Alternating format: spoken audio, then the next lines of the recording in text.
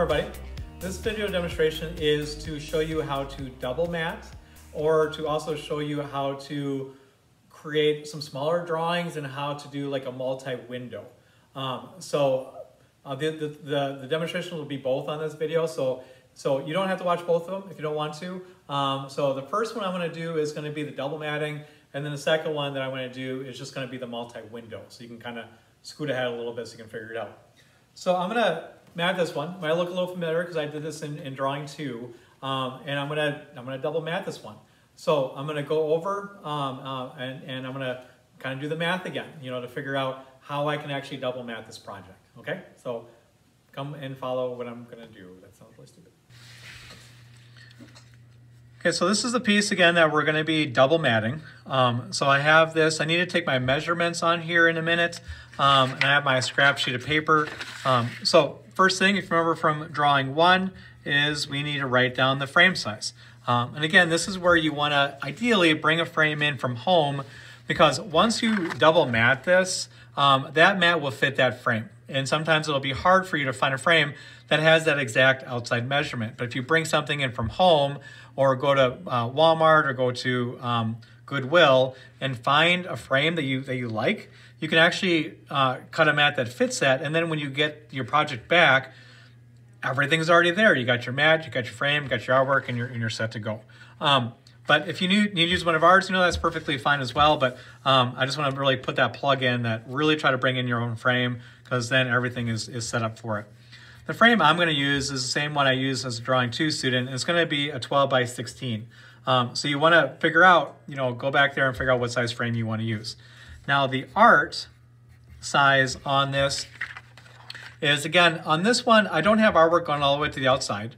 Um, and I'm actually going to crop this a little bit more. Um, so you need to measure, you know, this, the area that you want to that you want to keep. Um, and you can uh, re refer back to that drawing two uh, video um, if it's available, and you can kind of see how that works again. Um, but I like to use whole numbers. Um, so you know, from here to here, this is about nine inches. I like that measurement. So my artwork is going to be nine by, and we'll say six. Now, if this was a full sheet and I wanted everything to be seen, you know, and this was 12 inches here from this from this side, you have to subtract a half inch um, because you'll your mat. Remember, this can't be the same size as your cutout, your fallout that you have. Otherwise, this will fall out of the out of the mat as well.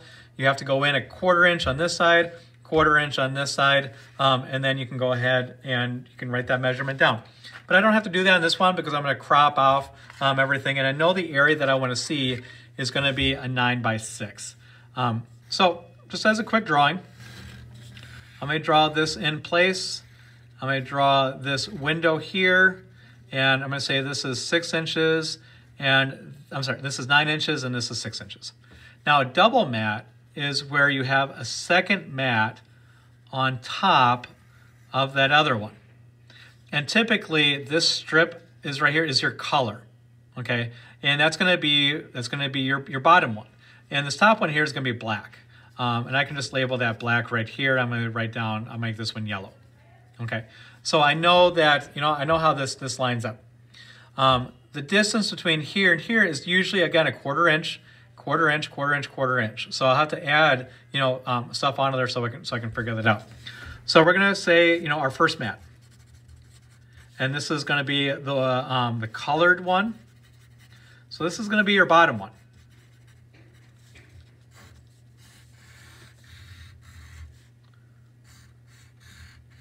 Okay, frame size, this is uh, 16, this is, I'm sorry, 12, this is 16.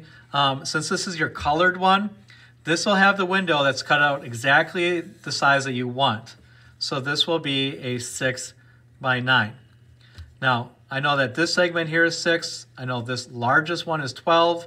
So 12 minus 6 is 6. Divided by 2 is 3. So I know I'm going to have a 3 inch border on this side. Now I have 9. This segment from here to here is 9. You know, ultimately it's 16. So 16 minus 9 is 7. 7 divided by 2 is going to be 3.5. So I know from here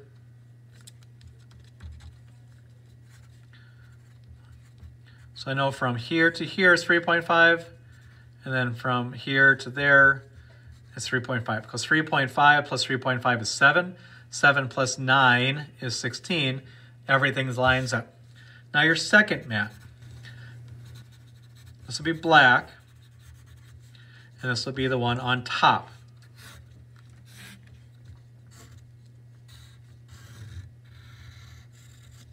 Okay. Unable to draw a rectangle apparently, and my eraser sucks. Okay, so 12, 16,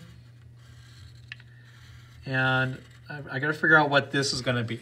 So I know that by looking at this, yellow is is my bottom one, and I want to see a strip of yellow, which means that this 9 by 6 has to be larger so I can see see this better.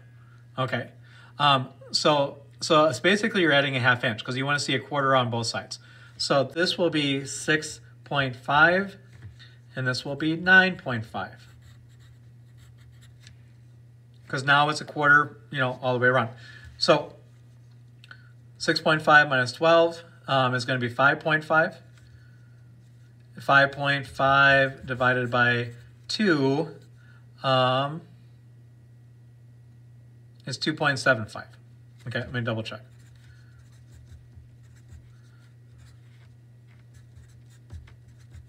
Yep. So 2.75. So I know that this is 2.75. So two and a two and three quarters of an inch. And this is 2.75. Same thing. Now this one, 16 minus 19 and a half. I'm sorry, 16 minus nine and a half.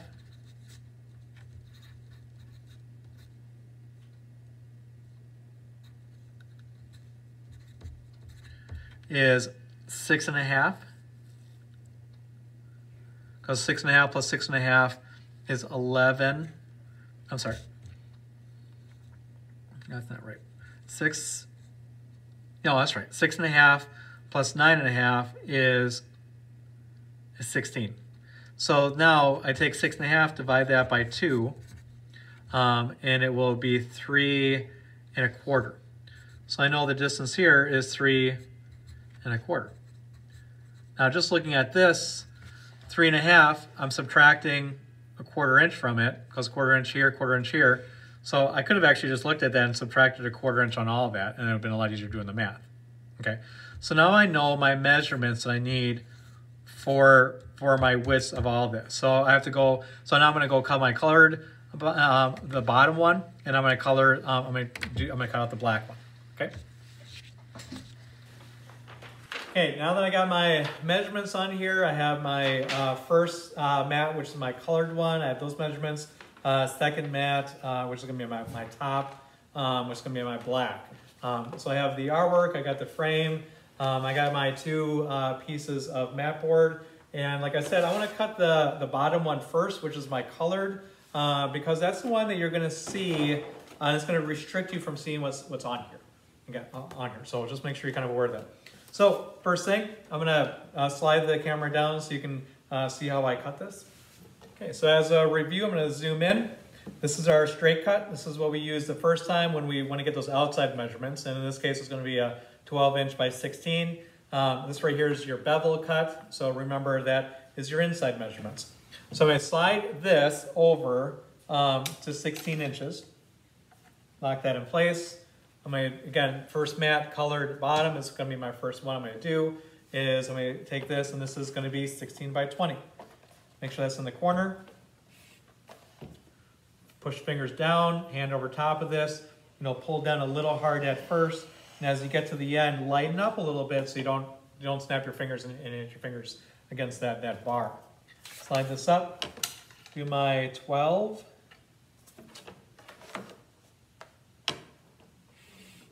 And this one is already cut at 12, so that was easy. Slide, now I'm gonna do the inside. So the inside on this one is three inches on this side, um, three and a half here, three here, three and a half here. So again, we have to mark that with a pencil or pen. Let me lift this up, use my ruler on this side, do my three inches first. So I line that up, uh, follow that line across, looks good. Make my mark. This is three and a half right here. Bring that up just a tad bit. Okay, that should be good. Three again. And then three and a half.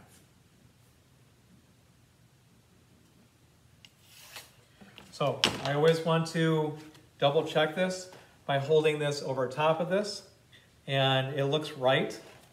I slide it this way and that looks good as well. So now I'm gonna do my, my cuts.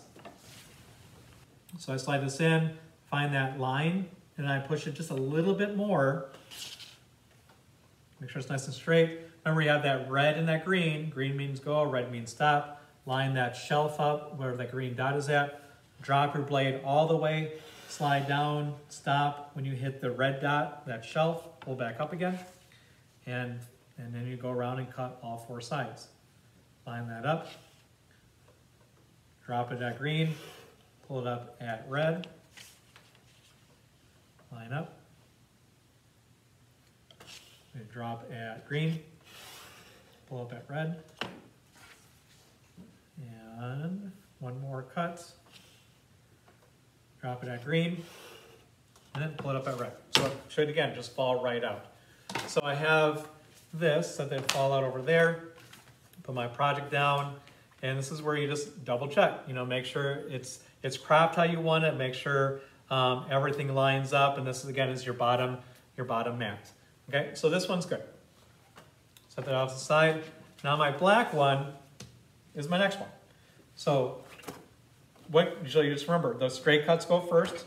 Um, this is already at 12. Slide that all the way up. You want to drop this down, use both hands. Lighten up a little bit at the end there so you don't pinch your fingers. Put this over to 16 inches.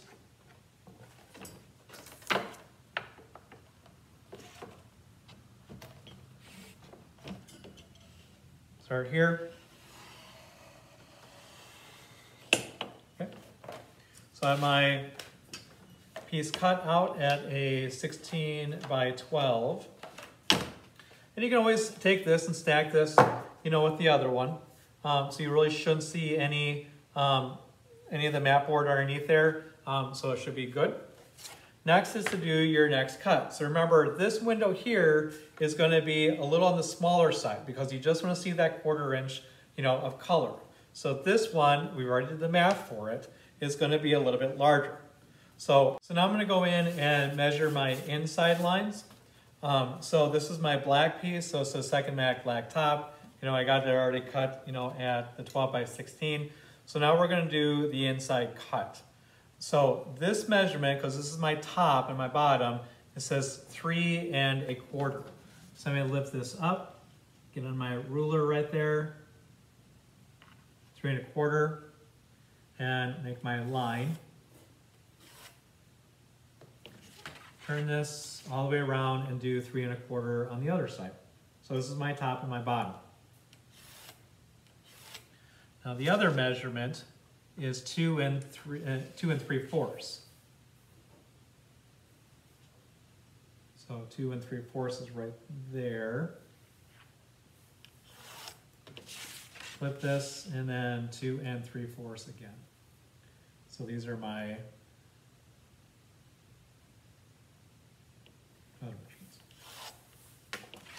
Now, just as a quick check, I should not see those lines in here at all, and I don't.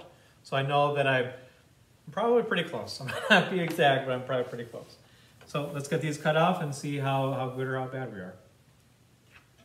Okay, again, just go in a little bit, slide that up, drop back green, pull up at red. Do it again.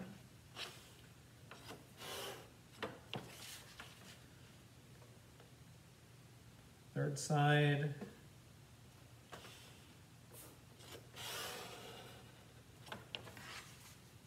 and our last one.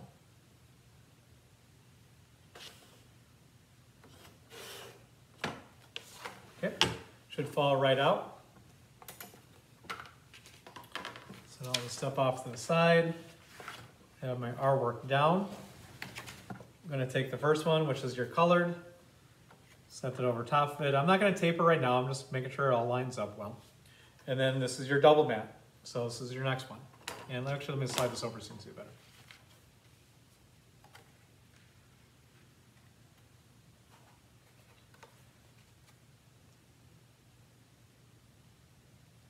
And that's pretty good. So, so again, you just have the small strip of color. Um, it's your double matte. You just want to kind of slide that around so you get it as, as perfect as you can. Um, and if you do notice, if you are a little off on the outside right here, sometimes at this point you can just um, you can just slide this up a little bit, make a new mark, cut that with a straight cutter, uh, or even use a paper cutter, and then you're, you're fine. But I want to get these um, taped together so we can finish up the project. And with this one, you're going to have to use double-sided tape, and I'll show you how to use that. So here's my double-sided tape. I'm gonna lift this up. I'm just gonna use two pieces. You don't need to go around the entire thing. This is foam tape, so it'll have a little bit of a gap, which is kind of fun because it'll give a little bit of a shadow underneath it.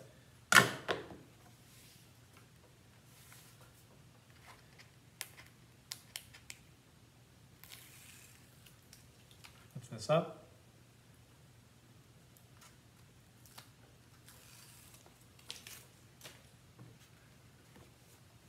Now I want to do my best not to let that touch. And see if you can get that as close as possible to where you want it. That's pretty good right there. Once you have it, then you can kind of put some pressure on there and that will hold that in place.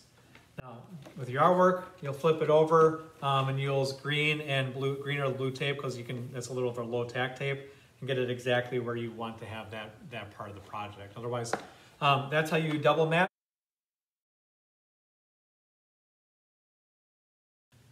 Hello.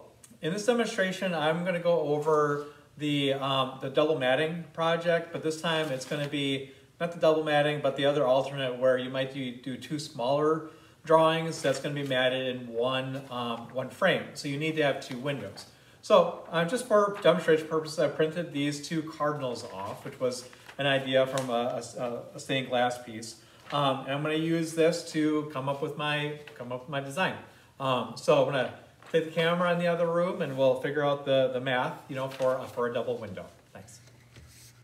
Okay, now I have my scrap sheet of paper here. I have my uh, pen, um, so I can draw it out with. I have my artwork. Again, these are just photos um, that I'm going to be working with.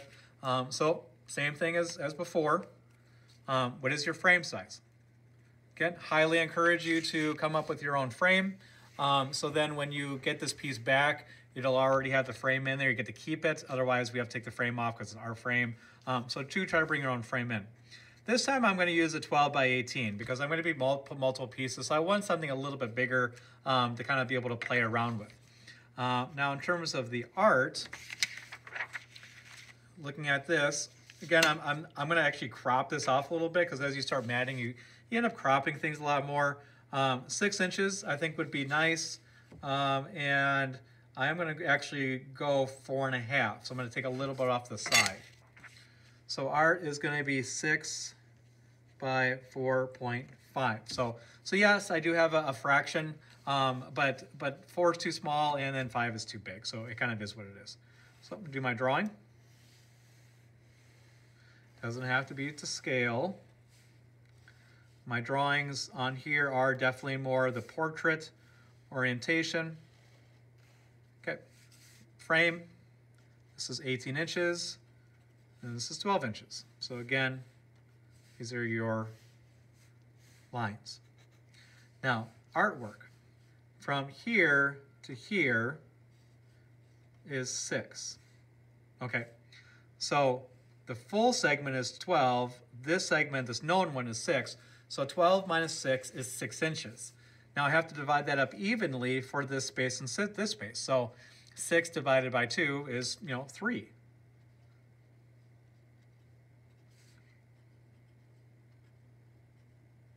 So 3 plus 3 is 6. 6 plus 6 is 12. So I know that works. Um, now I have this measurement, and this is 4.5, and this is 4.5. So I know 4.5 plus 4.5 is 9. I know the total distance is 18. So 18 minus 9 is 9. So I write that down here. Now this one's a little different because now instead of having like I had before, you know, where I had one, I have two, I have an extra space here I need to figure out. And we're going to keep it even. And this one's actually works out really well because, you know, 9 divided by 3 evenly is 3. So, so from here, so that's 3 inches, this is 3 inches, and this is 3 inches. So everything I need to measure is 3 inches. So that makes this really simple to do. Okay. Now, if I wanted to, I could actually change this. I could make this 4. I could make this 4. So then 4 plus 4 is 8, and then make this a 1 inch because I took an inch from outside. And I could have a smaller strip of, of mat board right here, and you might like that look a little better. You know, that's completely up to you. Uh, you know, the math is still, is still there to kind of support it. So we got our, our map here, we got our measurements. Let's over go over and cut our mat board. Okay, I have my dimensions here. I have my map. I have the artwork I was going to be framing. Um, and then I have the mat board that is larger than 12 by 18. Um, so I need to trim this down to size. I'm going to slide this over to 18 inches. Bring this in. You know, pull down towards that angle. Um, again, this is your straight cutter. Fingers down. Light up a little bit right there. And then 12 inches, so 12 by 18. So whatever yours is, you want to cut that to, to fit.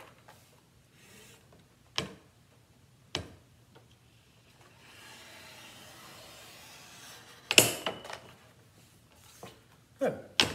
So again, this one's kind of simple because all I have to do is, is just threes all over, kind of all over the place. So I'm to come in. I'm to do my outsides first. So I have my three lined up there,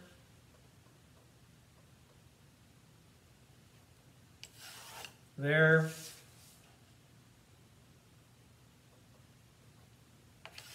There. I'm lining the line up as best I can.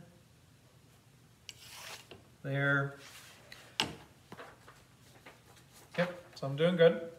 Now next is three inches. You actually put in the width of the piece this time. So what remember is, is four and a half. Now, because my ruler here isn't long enough, I'm actually going to mark, this is where I need to start my zero at, because this is where my line is at for my three inches. Um, so I'm going to line this up, so four and a half,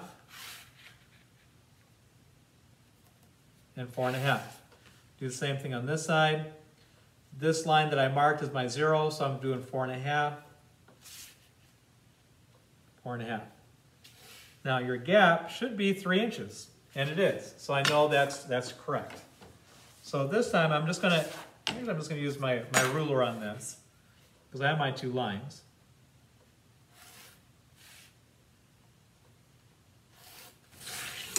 So I'll hold this up so you can see it a little bit better. So again, this was three, and then I measured from here to here, which is four and a half, which is, um, which is the width, you know, of this again, four and a half. And then my gap was three and then four and a half again. But I did this four and a half and this four and a half, because I could be off a little bit on here and it's not that big a deal. I'm gonna put an X here because I know that this is what needs to pop, pop out. Because sometimes we accidentally cut the wrong line. So I'm gonna bring this over. Now this is where it gets just a little on the trickier side. I may slide this over so you can probably see a little better. Is I wanna cut this line, leave this alone, cut this line because I remember I'm only cutting the area of the square out that has the X in it. I'm going to go over, slide this up. So I'm to drop at green, pull up at red, come down, drop at green, and then pull up at red.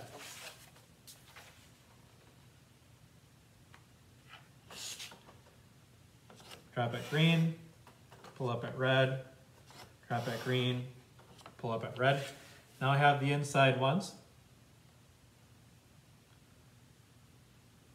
So with these, I, I can cut this first one. This next one I can't because your bevel is going to go the wrong direction. Okay, so if that doesn't make sense, you got to talk to me because this is where I would take off points to point where you might get a B on the project because this is this is important. you know, I probably won't give you a B, but you're not going to get a 100 on it, and it's not going to look good, and that's that's kind of the point. Because your bevel, you got to remember that this is cutting at an angle, and so all your cuts are always going away from the artwork. And right now I'm cutting into the artwork. So I need to leave that one alone. And I'm going to pull this one up here.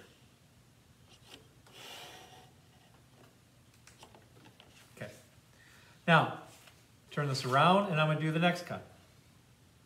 And I probably will actually show you what will happen if you do it wrong. So I'll, I'll ruin this mat just for you. So I'll help you feel special. Okay. So you always want to cut away from the artwork, not towards it. So this time I'm going to screw it up. Because this is the art and I'm cutting into it. You don't want to do that. But I want to show you what it's going to look like.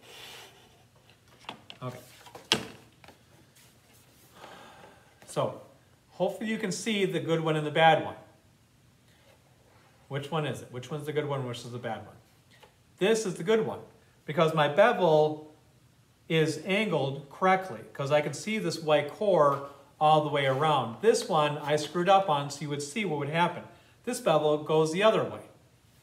So when I cut this, I cut towards you know, the artwork. So when you see it, it's actually kind of away from it because you can't see it because the black is right there. So this is now ruined. I'd have, I have to redo the entire thing all over again. Okay, but I wanted to show you what that looks like. Now, from your artwork standpoint, I'm to slide this back over. Going to fold just this one so you can see this a little bit easier. This is what double matting looks like. So get your artwork in there. Get your artwork in there. And everything looks fantastic. And this is where you would have a series.